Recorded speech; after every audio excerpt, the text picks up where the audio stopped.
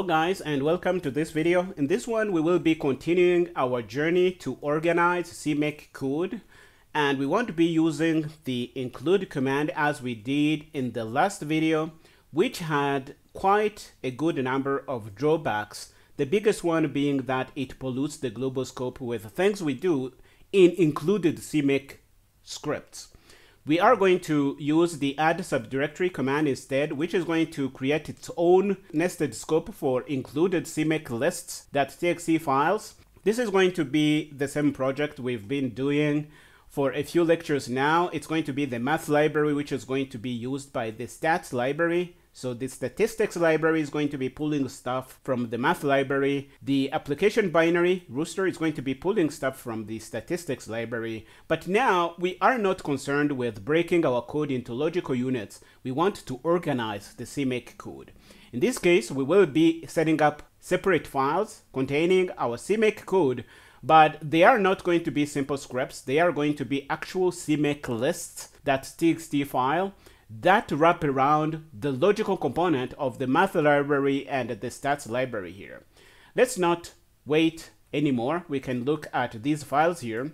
We will change our code really to reflect what we want to do here. We will create a library. Notice that the folder structure is still the same as we had before. We have our root folder, we have a build folder, we have a source folder, which is going to in turn contain a math folder and a stat folder. Each of the math and stat folder is going to contain its own CMake list that txt file. This is what we do here. This is the CMake list that txt file living in the stat folder. So it's going to set up our statistics library.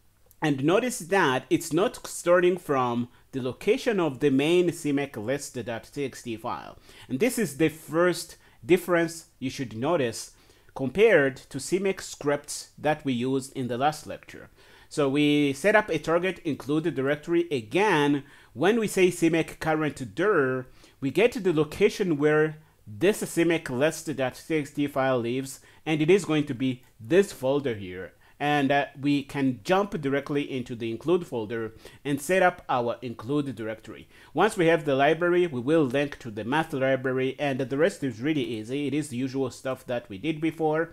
We also set up the math library the same way we do that, but the code for that is going to be living inside this CMake lists.txt file. Notice that it is really easy to think about it. If I am looking for an include directory for the stats library, I can jump directly into the include folder without really going back and think about the main CMake list.txt file. This is the main benefit of using the add subdirectory command. And how do we use it? We go in the main CMake list.txt file and use it like this. Notice we say add subdirectory, we go in the source folder, we go in the math folder, and we find the CMake lists.txt file in there and we include it. We don't have to specify the CMake lists.txt file.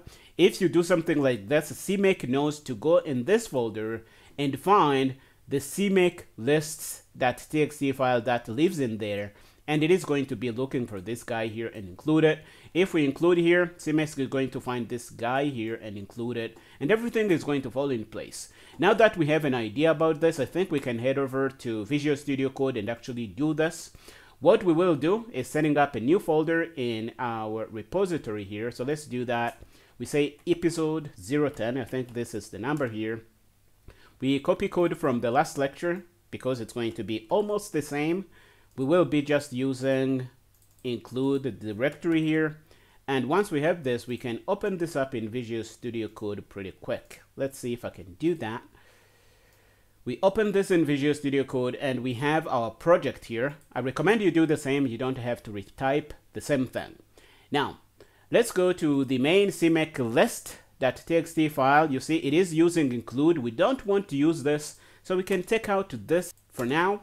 We can head over in our math folder and rename the math.cmake file to be a cmake lists.txt file. So let's rename this to be cmake lists.txt. We can go in the stats library and also do the same. Rename this to be cmake lists.txt.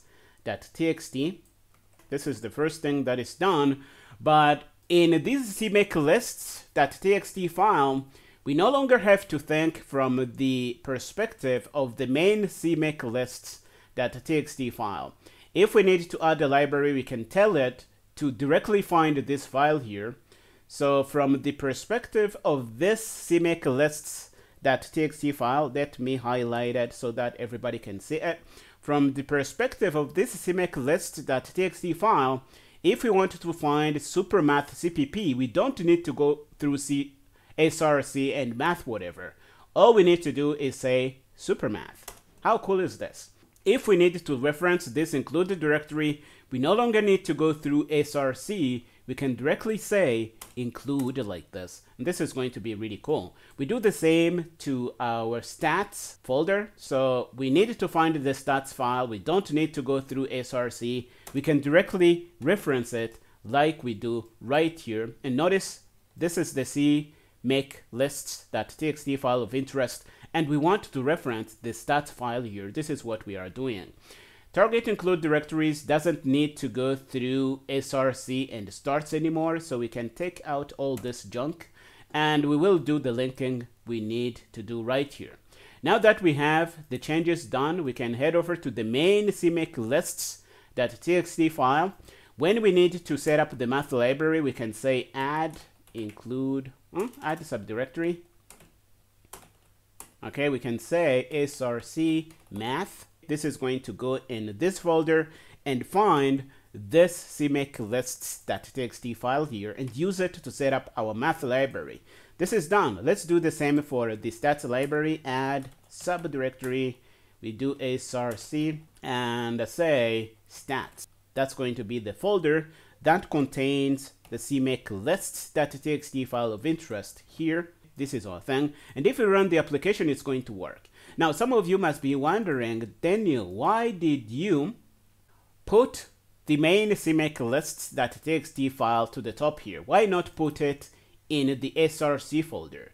You could do it that way, but doing things this way gives me the flexibility to add other folders later on.